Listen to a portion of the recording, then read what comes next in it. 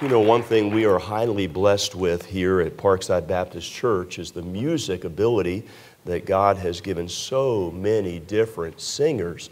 Uh, from uh, the duets that we have that you heard just a moment ago, to the soloist that was right before that, to many ensembles and many groups. I know we have, I think, five choirs uh, in different variational groups from the, the, the primary to the juniors to the teenagers to the college to uh, the adult to our bus ministry choir. And so uh, God has richly blessed us with that. And then uh, God has given us some good pianists too that can actually play. If I was to get over there, it would be thump, thump, flug. And, uh, but they get over there and they do such a tremendous job, and we thank the Lord for that. And the neat thing about uh, what is happening here is there's always room for people to serve Christ. I mean, so many different areas. I, I know the other day, uh, Brother Ginger, I, and his family went out to eat and uh, just praying about uh, where uh, the Lord would lead them to be able to plug in. And, and as I begin to think about all the different ministries that we have here at our church for people to be able to serve Christ, I know right now we have about six other uh, church services going on on property uh, where the Word of God is being preached and people are being helped, and so many different ways to be able to help and to love people. It's such a marvelous place to plug in and serve. Let's notice this, if you will Romans chapter 4, verses 23 down through verse 25. The Bible says, uh, Now it was not written for his sake alone, that it was imputed to him. But notice this the Bible says, But for us also, to whom uh, it shall be imputed if we believe on him that raised up Jesus our Lord from the dead. Now, it doesn't stop there. The Bible says in verse 25, it says, Who was delivered for our offenses and was raised again for our justification. And so today is a day, as you and I well know, that uh, we come to church as people all over America and in many different parts of the world on their Sunday, they come to church to celebrate our risen Lord. Now, can I tell you, if he be not risen, you and I are sitting here in vain.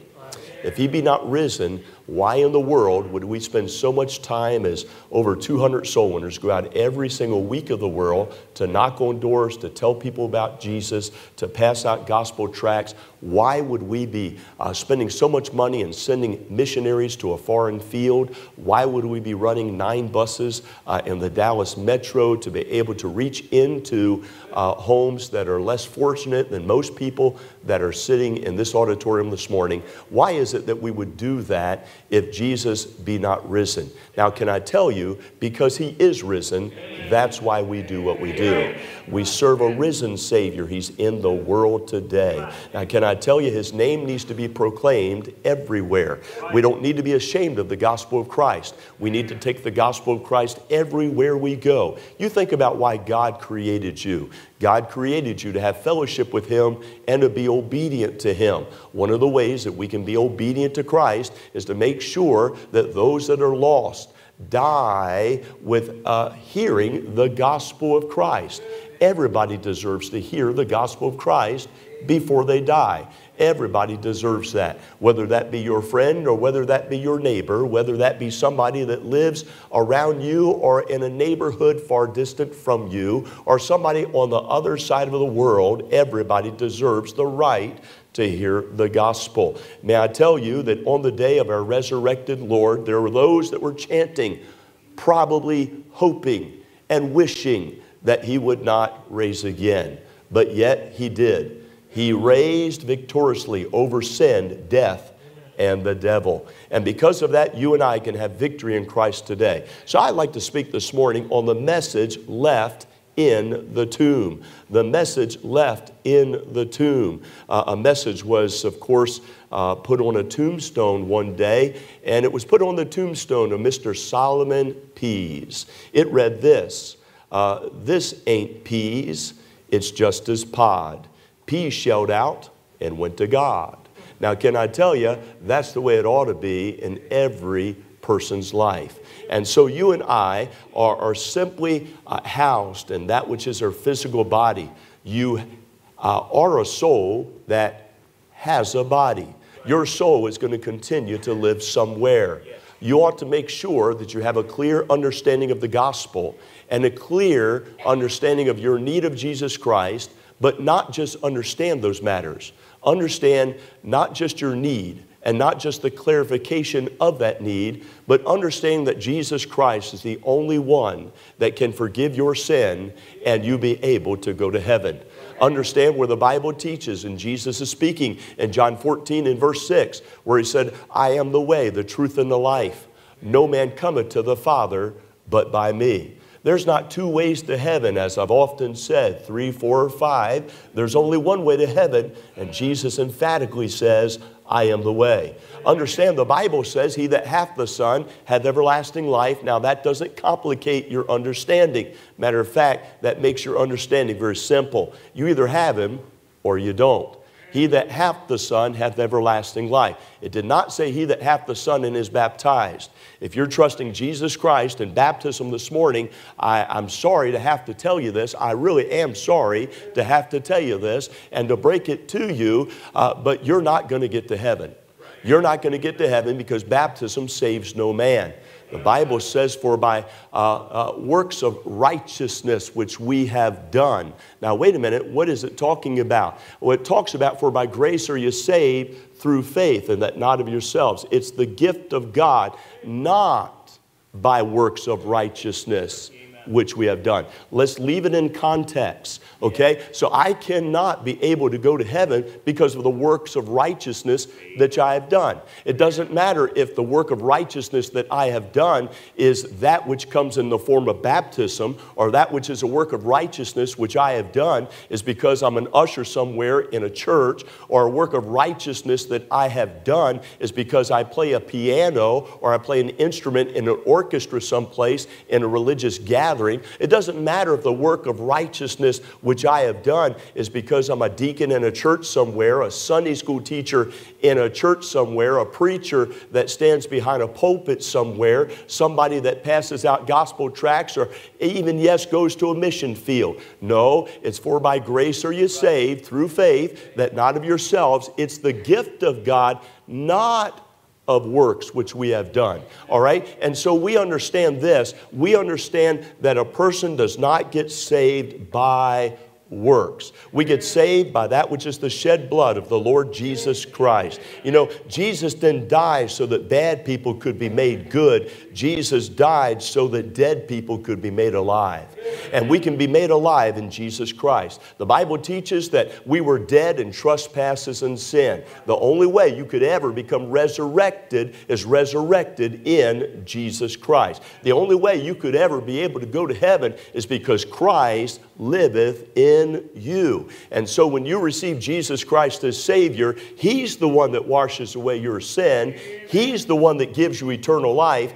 He's the one that uh, makes sure that your name is written in the book of life and sealed onto the day of redemption, the gathering of the saints. Now, if you don't know that as a dear friend, I would like to tell you, you can know that. If you don't understand that, I can tell you, you can understand that. And if you've not yet received Christ as Savior, can I tell you, it's imperative that you receive Christ as Savior. Many years ago, it was on February the 27th, 1991, uh, it was in Iraq.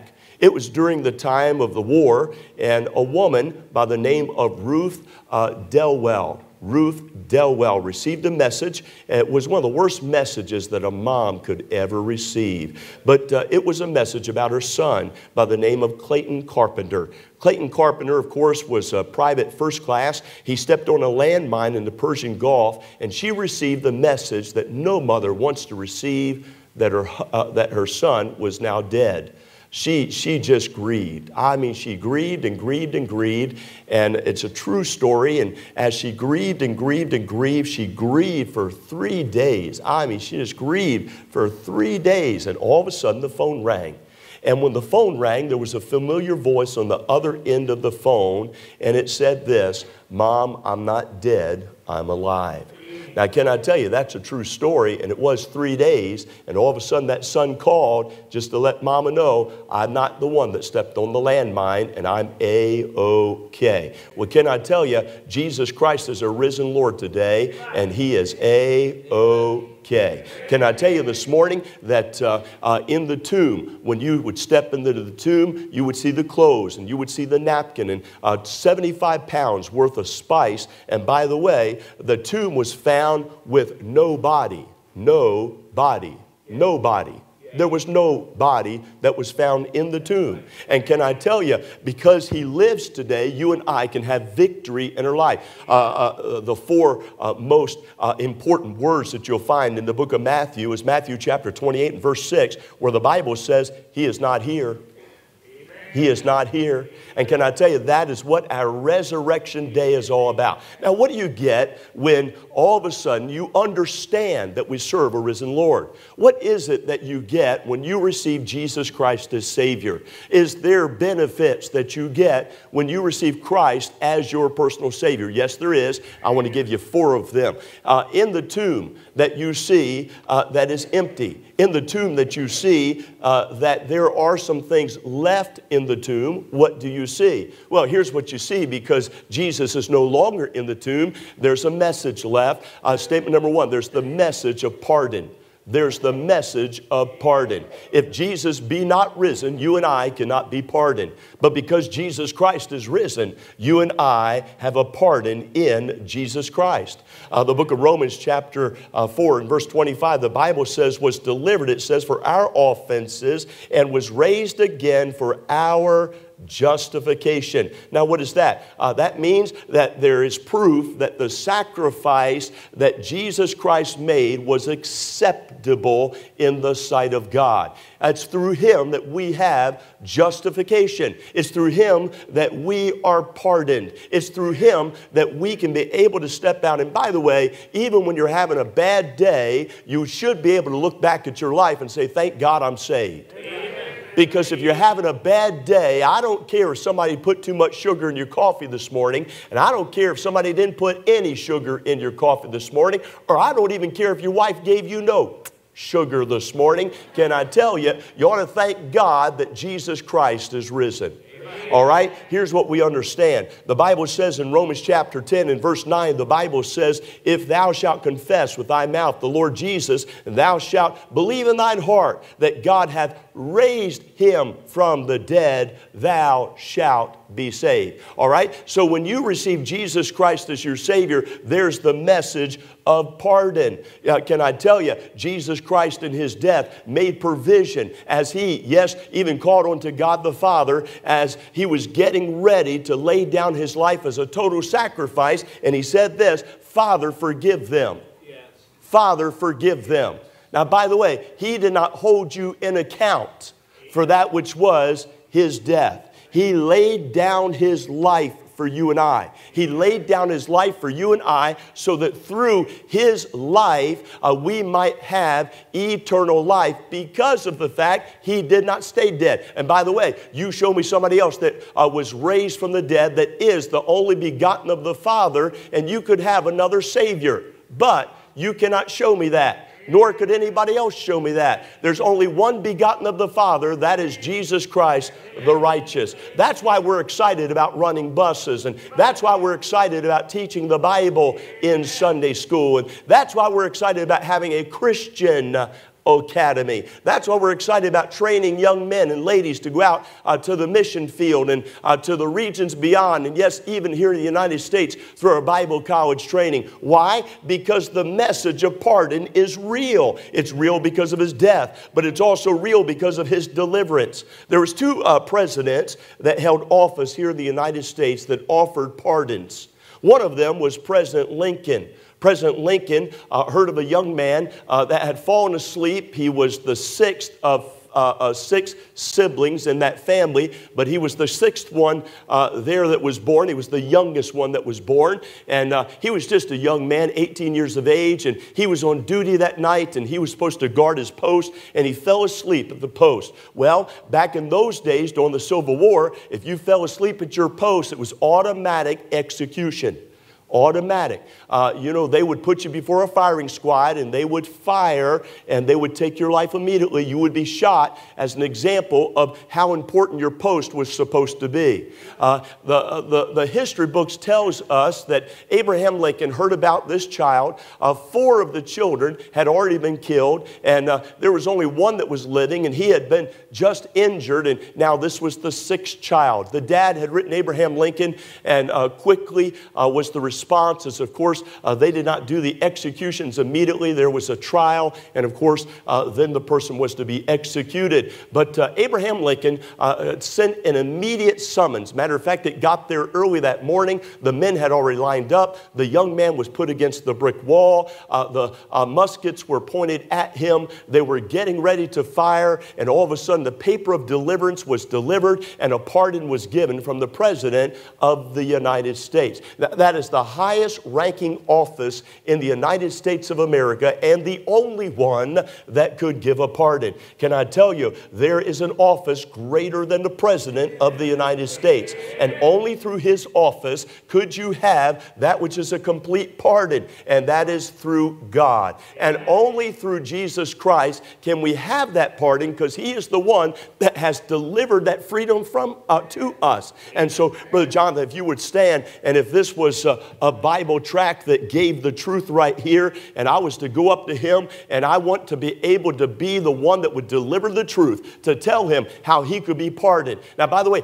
I can't pardon him. I cannot forgive him. I cannot walk in that which is the stead of God, nor take the place of Jesus Christ. Nobody has the power to save, save Jesus Christ only. But I can be the delivery boy. I can be the messenger boy. I can go over and tell him the good news that Jesus Christ does save. And our church is all about that. And so I go over and I tell him about Jesus Christ. Now, he has the right to be able to receive a gift, a gift that would give him a passage to heaven.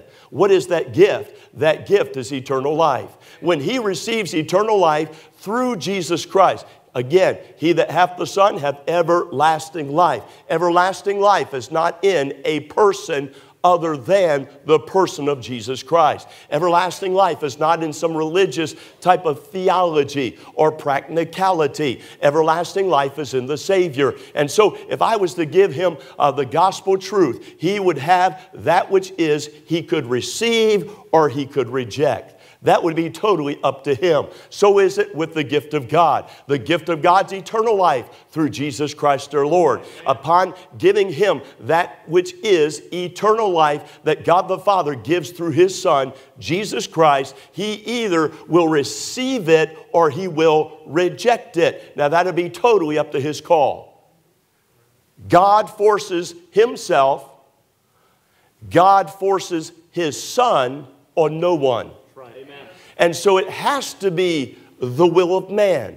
That's why the Bible says, For whosoever shall call upon the name of the Lord shall be saved. Now, can I tell you, the Bible teaches that hell was not prepared for you and I. The Bible says that hell was prepared for the devil and his angels. The Bible says that God's not willing, listen to it, God's not willing that any should perish, but that all should come to repentance. It is not God's will this morning that you attend a service at Parkside Baptist Church and leave here and die and burn in hell one day. That is not God's will. Hell was not prepared for you. When God prepared, prepared hell, He prepared it for the devil and his angels. He did not have you in mind. And He even says what His will is His will is that you not perish, His will is that you not burn in hell.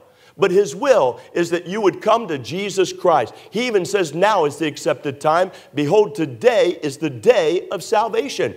He even tells you when to get saved. Thank you. Be seated. I understand this. I understand that God in the tomb leaves a message. He leaves a message through His Son, His Son that has left. Well, what's the message, preacher? That's exactly it. His Son which has left. Because his son has left, there's the message of pardon. Woodrow Wilson was the other president that gave a pardon. He gave a pardon to somebody that was on death row, and that person rejected the pardon.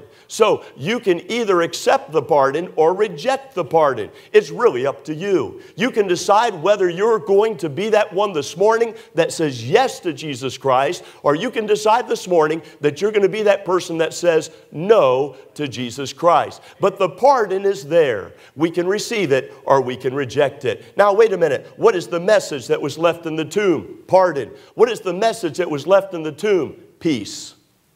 Peace. The Bible talks about how through God and His Son, Jesus Christ, we can have peace.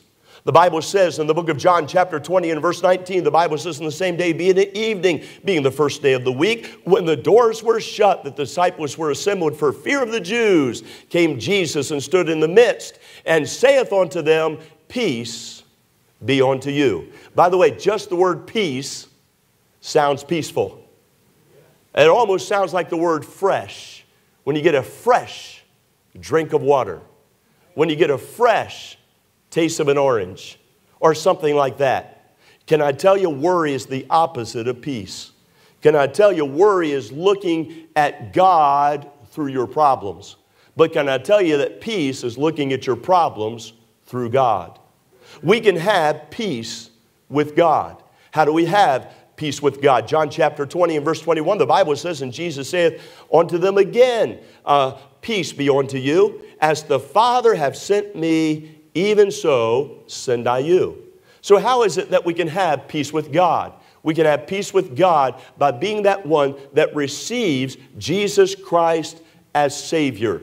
We can be that one by being busy about, uh, as a child of God, delivering that peace to other people. Hey, can you imagine this? Uh, that the bathtub was invented in 1850.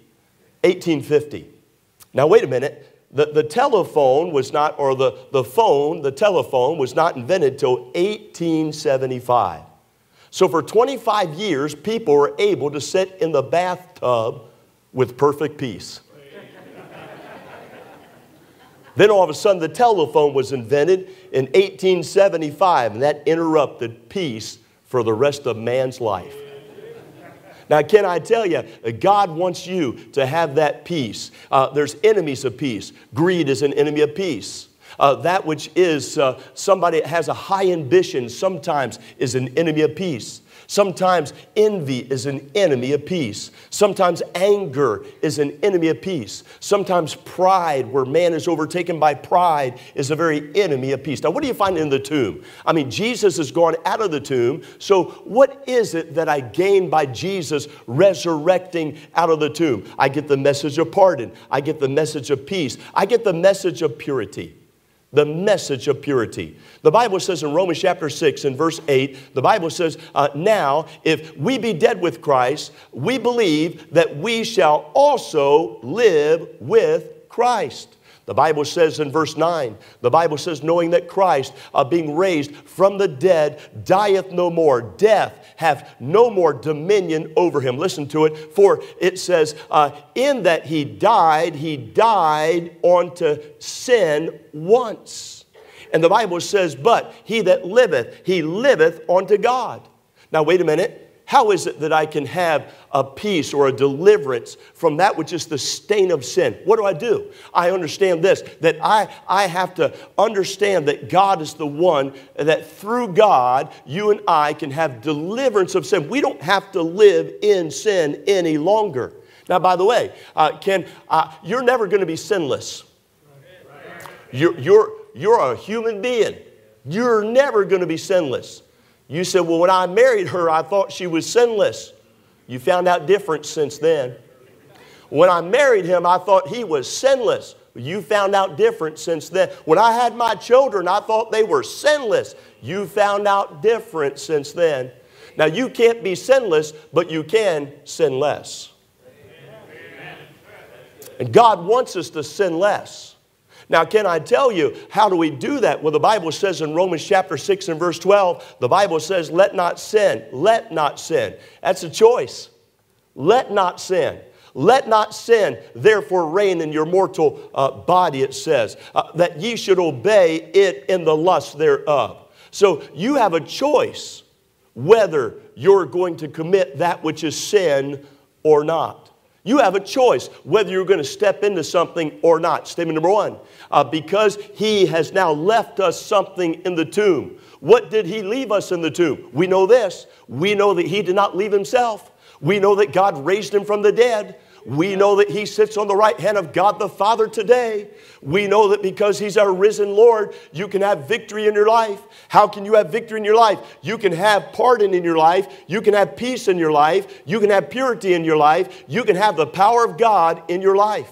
The Bible says in Ephesians chapter 1 and verse 20, the Bible says, uh, which he wrought in Christ. It says, when he raised him, stay with it now, he raised him from the dead. That's what we're talking about this morning. He raised him from the dead. He set him, it says, on his own right hand in uh, heavenly places. And so, because uh, Jesus Christ is sitting at the right hand of God in heavenly places, you and I can have the power of God because it's Christ Christ that liveth inside of us. Can I tell you this morning? The Bible talks about in Ephesians chapter uh, 1 and verse 20, where the Bible says that he wrought in Christ. It says, when he raised him from the dead, that he set him on his own right hand in heavenly places. There's something about Jesus sitting at the right hand of God the Father that should give you comfort. Many years ago, there was a, a, a very, very renowned uh, uh, uh, conductor, and uh, it, her, uh, his name was Rachel. Rachel. And Rachel was a, a famous conductor. One day he was conduct, conducting the Messiah, a very well known piece. And it came down to the point where the soloist was supposed to uh, sing this particular part, where the soloist was supposed to sing, I know my Redeemer liveth. Well, he heard the soul. And this, by the way, he's conducting this massive auditorium, uh, thousands of people that are there. And so he is conducting this, and, and she sang it, but she did not sing it just right. And he said, Stop, stop, stop. I mean, the conductor had the right to stop it all. He said, Stop it. And he stopped them all. He told that one that was singing the soloist, Come with me. He took her beside the curtain and said, Do you really believe that your uh, Redeemer liveth? And she said, Yes. Why don't you sing it like you believe it? And she said, Because he's not my Redeemer. He said, Let's take care of that right now. Everybody else is just sitting out there. They're waiting to hear this. And he uh, took time to show that young lady that was the soloist that was singing the Messiah in, in that filled uh, Colosseum area thousands of people waiting there. And that conductor took his time to go over how that young lady that was singing that part of the solo uh, part in that particular piece showed her her need of Christ. She bowed her head, received Christ, and then he said, Now you get out there and you sing that like you should sing that because now your Redeemer liveth. I think sometimes the reason that people don't act like Christians, can I tell you, dear friend, is because they do not have a personal Redeemer. I think sometimes we get our Bibles and we come to church and we've got the pretense on. We've got uh, uh, the traditional walk down. We've got everything down that we know that we should have down and we fit right in. And because we fit right in, we hit a certain comfort level. I mean, after all, church is church. I mean, after all, we know how to act in church. We know how to smile when the preacher says something that's funny, and we even know how to bring a tear jerking response when the preacher says something that's sad. We know when to go to the altar. We know where the hymn book is found. We know when to open it up. We know when to sing. We know when to smile. We know when to shake the hands with the brothers, quote unquote, and the sisters, quote unquote, that's in the church. But really, are we redeemed? Have we ever truly been redeemed? Can I tell you, dear friend, if, if we are truly redeemed, shouldn't church mean a lot to us? I mean, who else is going to save you from hell? Who else is going to write your name in the book of life? The only institution, I submit it to you this morning, but the only institution that Jesus Christ uh, uh, did uh, start in his lifetime was what we call the church. That's the only institution. There was no other institution that he started. By the way, he didn't start the institution of your job and he didn't start the institution of your neighborhood. Uh, he started the institution of the local church. And by the way, if he started the institution of the local church and he shed his blood, and the Bible talks about that he gave his life for the church, then what I tell you and I submit to you this morning, then the local church needs to be important in your life. Amen. You say, Oh, preacher, it's Easter and you got me here, and, and uh, you ought to feel blessed that I'm here. Can I tell you, dear friend, uh, you ought to feel blessed that you're here. But you could feel more blessed if you come back on a Sunday night. Yes, sir. You could feel more blessed if you showed up on a Wednesday night. Uh huh. You could feel more blessed if you showed up next Sunday morning. You said, But preacher, you got me here. Now you're scolding me. Well, if I got you here just for one Sunday, bless God, let me have my shot. Now, I'm saying this. I'm saying, look, hey, let's stop playing church. Hey, uh, what happened to Christianity the way Christianity used to be? If somebody saved your life, I'm talking about your physical life, friend. If somebody saved your life, wouldn't you be grateful to them the rest of the days of your life? Wouldn't you be grateful to them because they saved your life and now you get to spend time with your children? They saved your life, and because they did that, now you get to spend time with your grandkids. Now, I want you to think of it, friend. Because Jesus Christ died and He shed His blood for you, you don't just have life. If you receive Christ as your Savior, you've got eternal life. And if the only thing that our Lord has required out of us as believers is that we be faithful to Him, that's not hard. That's not difficult. By the way, he's not asking you to live at church. Thank God for that. We don't have room for you. We don't have showers here. If you lived at church, it would be a stinky mess. But can I tell you, uh, he does want us to be faithful. Now, being faithful doesn't make you go to heaven. Jesus Christ is the one, when you receive Him as Savior, hey, now you can go to heaven, not because you're good, not because you're baptized, not because you go to church, not because you keep the Ten Commandments, not because you keep the seven sacraments, not because you put so much money in the offering plate, but it's Christ and Christ alone. But can I tell you that after a person gets saved, uh, we ought to act like Christians. Uh, we don't uh, become sinless, but we ought to sin less. Uh, we ought to let God's power work in us and know the Redeemer as that young lady came to know the Redeemer on a personal basis and not just sing about the Redeemer. Now, I love you as your preacher, but can I tell you, are you sure you're saved? Are you sure you're saved?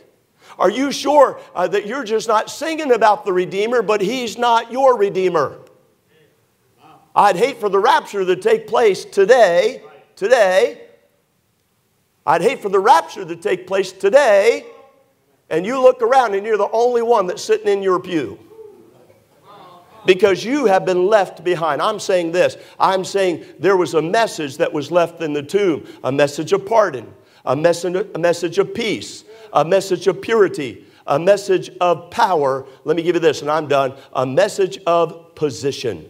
Listen to it. Ephesians chapter 2, verses 4 and 5. The Bible says, But God, who is uh, rich in mercy, for his great love wherewith he loved us. The Bible says, Even when we were dead in sins, hath quickened us together with Christ. By grace ye are saved. It's by the good grace of God that you and I are saved. Well, preacher, I'm such a good person. No, you're not. Bible says that your righteousness is as filthy rags. That tells you what God thinks about your righteousness. So it's not your righteousness that helps you to merit heaven. The Bible says, Ephesians chapter 2 and in verse 6, the Bible says, He hath risen us together. It says, and made us to sit together in heavenly places in Jesus Christ. So the Bible teaches that through Christ we can have that which is forgiveness of sin. Let me give you a closing illustration. One day a little boy decided that he wanted to go and be able to see the King's Garden in England. They say it's one of the most marvelous gardens you've ever seen in your life. And so this little bitty boy, age of 12, said, I want to see the King's Garden in England. He was not from England, but he was visiting there from another country. And he went up to the guard, and he thought just by seeing the guard that the guard would let him in to see the King's Garden of England. So he went up to the guard, and he said, Guard, He said, I'd like to get in. Would you please show me around? Like he was some hot stuff, you know. And he said, Would you please show me around the king's garden? And the guard said, No. He said, Nobody gets in to see the king's garden. Oh, the little boy was so brokenhearted. He'd heard wonderful things. His mama had spoke about the king's garden. I mean, he thought his mama had visited there. His grandmother had spoken about the king's garden. He thought for certain that grandmother had visited there. And so he said, he said, but you don't understand. He said, I've traveled all this way and I just want to see the king's garden. Would you let me see the king's garden? And they said, uh, the guard said, no, you cannot enter in. Oh, he started to cry and uh, started to walk away, and the prince was staring out one of the gates. He saw this little 12 year old boy just so heartbroken. And so he walked out around and he came up alongside him on the sidewalk and he said, Why are you crying? He said, I came all this way just to see the king's garden and I cannot get in. And the prince said, Follow me, I'll get you in. Took him by the hand, walked him around the gate, uh, showed him all the beauty of the king's garden. Finally, took him back out to the guard, and the guard said, uh, How'd you get in there? He pointed to that man. The guard saluted the man who was the prince. He knew who he was. Uh, but the boy had no idea who he was. And finally, the guard said to that little boy, Do you know who took you in? Well, it was the prince. I mean, that is the son of the king. And, and by the way, only the son of the king could get you past the guard. Now, can I tell you, only Jesus Christ can get you to heaven. You cannot get to heaven any other way. You're not going to be able to see the beauty of heaven. You're not going to be able to walk down the street of gold. You're not going to be able to walk down uh, the street of gold and see uh, that which is the gates of pearl and walk beside the uh, walls of jasper. And you're not going to be able to live in a sinless, uh, perfect place. And I tell you, it's only because of Jesus Christ today that our nation can come and celebrate such a fabulous day called Easter. Uh, why? Uh, it's not because we're religious, and it's not because we're Parkside Baptist Church, and it's not because you have a preacher, and it's not because you have a Sunday school teacher. Hey, can I submit to you this morning? It's because we serve a risen Savior. He's in the world today. His name is Jesus Christ, and when you receive Christ as your Savior, hey, He washes away your sin, gives you eternal life. Now, you've got a reason to celebrate Easter. Oh, I hope you have that reason yourself in your heart. Heads are bowed and eyes are closed.